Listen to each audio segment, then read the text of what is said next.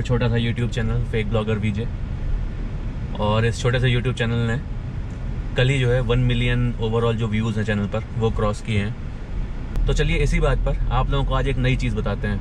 मतलब एक्चुअली नई चीज़ तो नहीं बट हाँ हमारी कार्स में ये फीचर जो आना शुरू हुआ, वो काफ़ी बाद में शुरू हुआ मतलब नया ही है हमारी कार्स के लिए। बट ये जो टेक्नोलॉजी है, वो आज से करीब सौ साल पुरानी है। तो आज हम बात कर रहे हैं क्रूज़ कंट्रोल के बारे में। तो चलिए शुरू करते हैं। तो अपने पिछले वीडियो में मैंने आपको अपनी न्यू किया सोनेट 2021 से मिलवाया था। तो उसमें का ही एक फीचर है ये क्रूज़ कंट्रोल मैंने आपको पहले भी कहा था कि मैं क्रूज़ कंट्रोल पर अलग से वीडियो बनाऊँगा। तो ये है वो डिटेल वीडियो तो इस वीडियो में हम क्रूज़ कंट्रोल को एक्चुअल प्रैक्टिकल देखेंगे कि किस तरह से काम करता है, कौन से बटन प्रेस करके क्या होता है और एक्चुअली क्या करना होता है, क्या नहीं करना होता है, ये सब हम इस वीडियो में देखेंगे। बट इससे पहले कि हम प्रैक्टिकल नॉलेज लें, थोड़ी थियोरेटिकल नॉलेज ले लेते हैं। तो क्रूज़ कंट्रोल जो होता है वो एक्चुअली दो टाइप का होता है। एक नॉर्मल क्रूज़ कंट्रोल जो कि मेरी कार में भी है, और मेरे ख्याल से ज़्यादातर कारों में इंडिया में वो ही आता है। तो दूसरा होता है एडाप्टिव क्रूज़ कंट्रोल और मुझे नहीं लगता किसी कार में इसमें आता है बट मुझे शायद अच्छे से नॉलेज नहीं है। अगर आता है तो बताइएगा। बट हाँ जो नॉर्मल क्रूज कंट्रोल होता है, जो हमारी कार में भी जो हम लोग आज देखेंगे, उसमें क्या होता है कि आप एक प्री डिफाइंड वैल्यू सेट कर देते हो स्पीड की, और आपकी कार जो है वो इंटेलिजेंटली उसी स्पीड पर, उसी प्री डिफाइंड स्पीड पर क्रूज करती रहती है मतलब कि चलती रहती है। तो सपोज़ आपने 40 या 50 50 की स्पीड पर आपने क्रूज को सेट किया हुआ है तो ये कार जो है वो 50 की स्पीड पर ही चलती रहेगी, जब तक कि आप उसको और कोई ऑर्डर ना दो, रुकने का या और कोई कमांड अगर ना दो तो वो चलती रहेगी उसी स्पीड पर। अब जो होता है अडाप्टिव क्रूज कंट्रोल वो उसमें डिफरेंस सिर्फ़ ये होता है कि जो अडाप्टिव अडाप्टिव क्रूज कंट्रोल होता है, वो थोड़ा ज़्यादा इंटेलिजेंट होता है। ज़्यादा इंटेलिजेंट में कौन सी चीज़ें आ जाती हैं? तो जैसे मैंने आपको इसमें बताया कि प्री डिफाइंड स्पीड होती है, उस पर ही क्रूज करती रहती है। लेकिन अडाप्टिव जो क्रूज कंट्रोल होता है, उसमें सिमिलर यही है कि उसमें भी आपको एक प्री डिफाइंड स्पीड सेट करनी होगी अपनी कार की। बट उसमें जो होता है कि वो सपोज़ आपने किसी स्पीड पर अपनी कार को सेट किया हुआ है तो आपकी कार चलती जा रही है, आपकी कार के आगे कोई और कार है। तो वो जो अडाप्टिव क्रूज कंट्रोल होता है, वो आपके आगे वाली कार का भी जो स्पीड है, उसको मॉनिटर करता रहता है।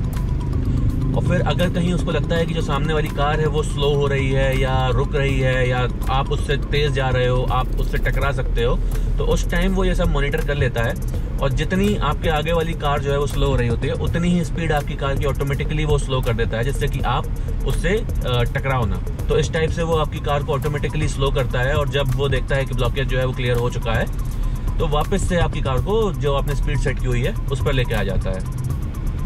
तो ये होते हैं दो टाइप के क्रूज कंट्रोल तो इसमें से जो पहला जो नॉर्मल क्रूज कंट्रोल है, उसको हम देखेंगे अब. तो मेरे पास है ये किया सोनेट की G T X plus petrol version और इसमें आप ये जो तीन बटन देख रहे हो एग्जैक्टली exactly ये तीनों बटन ही हैं जो कि क्रूज कंट्रोल को कंट्रोल करेंगे. तो इसमें आप ये जो पहला बटन देख रहे हो, इसको जब मैं प्रेस करूँगा तो गाड़ी का जो क्रूज है, वो इनेबल हो जाएगा. इनेबल ही होगा, अभी क्रूज लगा नहीं है। तो अगर आप इस टाइम अपनी एमआईडी स्क्रीन पर जाके देखोगे, सामने एक जगह आप देखोगे क्रूज लिख के आ गया है। बट क्रूज के आगे डॉट्स बनी हुई हैं। इसका मतलब है कि गाड़ी जो है वो क्रूज में जाने के लिए तैयार है। बस वो वेट कर रही है कि आप उसको स्पीड बताओ कि किस स्पीड पर क्रूज करना है। तो उसको स्पीड बताने के लिए आपको बहुत सिंपल सी चीज़ करनी है। ये जो आप दूसरा बटन देख रहे हो, उसको आप नीचे की तरफ़ प्रेस कर दो। तो इसको प्रेस करने के साथ ही आपकी गाड़ी को वो स्पीड मिल जाएगी जिस पर उसको क्रूज करना था। क्रूज जो है वो टोटली एक्टिवेट हो जाएगा। तो इस टाइम अगर आप एमआईडी स्क्रीन पर आप देखोगे तो क्रूज के बगल में जहाँ पर डॉटेड लाइन्स आ रही थी, वहाँ पर अभी आप देखोगे कि स्पीड मेंशन हो रही है।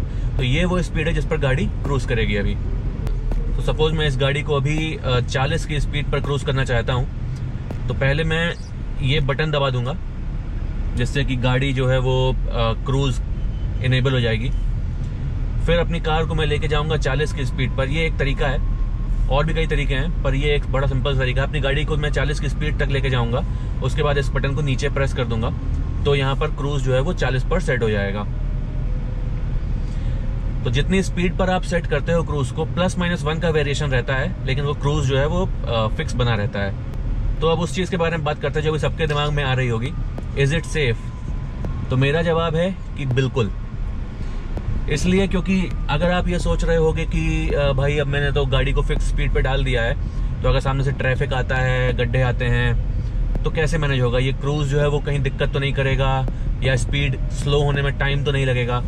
तो इसके लिए मैं आपको बता दूँ कि अगर आपकी गाड़ी क्रूज कर रही है 40 की स्पीड पर, और the moment when you press the brake pedals जैसे ही आप अपने ब्रेक पेडल्स को प्रेस करते हो हल्का सा भी तो ये क्रूज जो है वो ऑटोमेटिकली डीएक्टिवेट हो जाता है। ये देखिए ऐसे।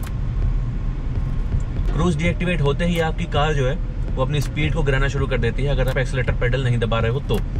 अगर आप उसी टाइम एक्सलेटर पेडल दबा दो तो जिस हिसाब से पेडल दबाओगे, उतनी स्पीड पर कार चलती रहेगी। तो वो एक नॉर्मल कार वापस से बन जाएगी। ब्रेक हल्का सा प्रेस करते ही। तो ये एक तरीका है क्रूज को एग्जिट करने का। और बाकी फिर आप ये ये बटन जो देख रहे हो, इसको भी अगर आप प्रेस कर दोगे तो भी आप क्रूज से तुरंत के तुरंत एग्जिट कर जाओगे। तो मेरे ख्याल से ये बहुत ही क्विक रिस्पॉन्स है। मैंने खुद करके देखा हुआ है तो प्रैक्टिकल नॉलेज के हिसाब से जो मैं आपको बताऊँ तो रिस्पॉन्स बहुत ही क्विक है क्रूज एग्जिट होने का। और बहुत ही आराम से स्मूथली क्रूज एग्जिट हो जाता है। और जब एक बार आपका क्रूज एग्जिट हो गया तो सपोज़ आप 40 पे चल रहे थे क्रूज एग्जिट हो गया, गाड़ी की स्पीड गिर गई, आप 30 पे चलाने लग गए, अभी पेडल प्रेस करके एक्सीटर पेडल प्रेस करके, अब आपको वापस से उसी स्पीड पर क्रूज करना है। सपोज़ आपको हल्का सा ब्रेक कहीं मारना था, आपने ब्रेक मारा, लेकिन आप चाहते हो कि वापस उस स्पीड पर अब जो भी दिक्कत थी ब्रेक मार के वो सॉल्व हो गई है। वापस से उसी स्पीड पर आपकी कार आ जाए। तो ये बटन आप देख रहे हो, यहाँ पर रेस लिखा हुआ है। रेज का मतलब है रेज्यूम तो रेस की तरफ़ आप जब ऊपर को प्रेस करोगे इसको तो ये गाड़ी वापस से उसी स्पीड पर आ जाएगी जो आपने जस्ट पहले प्री डिफाइंड की हुई थी। मतलब कि अगर मैं 40 पर चल रहा हूँ, मैंने ब्रेक मारा, गाड़ी अब 20 पर चल रही है, इसको प्रेस करते ही आप आप अपना एक्सलेटर फिर से छोड़ सकते हो। और गाड़ी 20 से बढ़ते बढ़ते धीरे धीरे 40 पर आ जाएगी। और जैसे ही आप इसको प्रेस करोगे, सबसे पहले यहाँ पर क्रूज जो है वो 40 पे एक्टिवेट हो जाएगा एमआईडी स्क्रीन पर। अब एक और चीज़ है क्रूज की, कि जब क्रूज पर चल रही होती है कार तो ये जो बटन है, ये प्लस माइनस जो लिखा हुआ है, ऊपर और नीचे जब प्रेस करते हो तो हर प्रेस पर एक किलोमीटर पर आवर की स्पीड चेंज होती है कार में। तो अगर आप इसको ऊपर प्रेस करोगे और 40 पर क्रूज कर रही है स्पीड तो अपने आप 41 पर क्रूज करने लगेगी। सिमिलरली अगर आप इसको 10-15 बार बढ़ा दो 40 पर तो 55 की स्पीड पर ऑटोमेटिकली वो कार आपकी आ जाएगी बिना एक्सेटर पेडल दबाए मतलब ये एक जो छोटा सा बटन है, वो इलेक्ट्रॉनिकली आपकी कार की स्पीड को पूरा कंट्रोल कर रहा है। अब एक और चीज़ की बात करते हैं, जो मैं अभी लॉन्ग ड्राइव पर गया था जब तो मैंने वो चीज़ देखी। पहले मुझे उसका आइडिया नहीं था। तो सपोज़ मैं क्रूज़ कर रहा हूँ सौ की स्पीड पर एक्सप्रेस वे पे, और मेरे सामने जो कार चल रही है, वो नब्बे पर चल रही है। तो क्या होगा धीरे धीरे मैं उस कार के पास आता जाऊँगा। तो कभी ना कभी मुझे उस कार को ओवरटेकिंग लेन में जाकर ओवरटेक करना पड़ेगा। तो वो मैं कैसे हैंडल करूँगा? क्या मुझे क्रूज एग्जिट करना पड़ेगा या कैसे होगा? तो उसके लिए क्या है कि अगर आपको दिख रहा है कि वो कार पास आ रही है तो उस केस में क्या करना है कि आप, क्योंकि सामने वाली कार 90 पर है, और आप 100 पर चल रहे हो ऑलरेडी तो आपको ओवरटेक करना है। इसी स्पीड पर आप चलते रहे तो ओवरटेक कर जाओगे। तो आपको पहले ही अलर्ट होके ओवरटेकिंग लेन में आ जाना है सबसे पहली चीज़। और फिर आप सौ की स्पीड पर हो ऑब्वियसली तो आप कार से तो तेज़ी चल रहे हो सामने वाली कार से। तो अगर आप ओवरटेकिंग लेन में आ गए तो भी आप ऑटोमेटिकली ओवरटेक कर जाओगे। लेकिन आपको लगता है कि थोड़ी और स्पीड बढ़ाने की ज़रूरत है। तो उस टाइम आप ओवरटेकिंग लेन में आके अपना एक्सलेटर पेडल प्रेस करके उसको 110 वगैरह की स्पीड पर जितने पे भी जाना है, जा सकते हो। और ओवरटेक करने के बाद आप वापस से जैसे ही एक्सलेटर पेडल छोड़ोगे तो वो क्रूज पर वापस से आपने अगर 100 परसेंट किया हुआ था, वापस से आ जाएगी। वो क्रूज कभी हटता नहीं है। मतलब एक्सेलेटर पेडल का दबना क्रूज को नहीं हटाता है। कोई हेडक नहीं है वापस से स्पीड सेट करने का। तो ये देख के आप समझ गए होंगे कि क्रूज कितना अट्रैक्टिव फीचर है और काफ़ी आरामदायक है। लॉन्ग राइड्स के लिए बहुत ज़्यादा ही लॉन्ग ड्राइव्स के लिए बहुत ज़्यादा ही आरामदायक है। और अगर आप इस क्रूज वाले फीचर को पेयर अप करते हो ऑटोमेटिक गियर के साथ, जो कि मेरी कार में भी है तो आपको फिर परेशान होने की बिल्कुल ज़रूरत नहीं। इतना ज़्यादा रिलैक्स रहेगा, हालाँकि मैनुअल में भी क्रूज आता है बट उससे कहीं ज़्यादा आराम आपको ऑटोमेटिक प्लस क्रूज कार्स में होता है। ऐसा मैं इसलिए कह रहा हूँ क्योंकि देखिए ऑटोमेटिक है तो आपको गियर नहीं चेंज करना है। तो आपका जो लेफ़्ट हैंड है, वो फ्री आपको क्लच दबाने की ज़रूरत नहीं है, क्योंकि ऑटोमेटिक गियर है। तो आपका जो लेफ़्ट लेग है, वो भी फ्री अब क्योंकि आपको क्रूज पर डाला हुआ है आपने कार को तो आपको उसकी स्पीड भी चेंज नहीं करनी है तो आपका राइट पैर भी फ्री अब आपको ध्यान सिर्फ़ एक चीज़ का देना है, एक तो स्टेयरिंग से कार को कंट्रोल करना है कि कार यहाँ वहाँ कहीं डायरेक्शन गड़बड़ तो नहीं हो रही है। दूसरी चीज़ आपको जिसमें अटेंटिव रहना है, वो है इसके ब्रेक्स कि आपको कभी भी दबाकर एग्जिट करना पड़ सकता है क्रूज तो केवल इतना सा ही हेडक बचा, और बाकी सारी चीज़ें जो है, आप एकदम रिलैक्सिंग जर्नी कर रहे हो क्रूज के साथ। एक और बहुत बड़ा फ़ायदा है क्रूज का, वो है बेटर माइलेज जैसा कि हर कंपनी बोलती है कि अगर आप यूनिफॉर्म स्पीड पर अपनी कार चलाओगे तो इंजन पर सबसे कम स्ट्रेस आएगा और सबसे बढ़िया परफॉर्मेंस वो आपको देगा।